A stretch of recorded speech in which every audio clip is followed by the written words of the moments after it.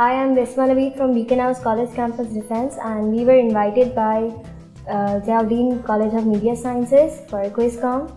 We were a lot of a lot nervous at first, but as the momentum got up, we got excited and happy, and then we are we are happy about winning it. My name is Suleiman Samad and I too am from Beaconhouse College Campus Defense.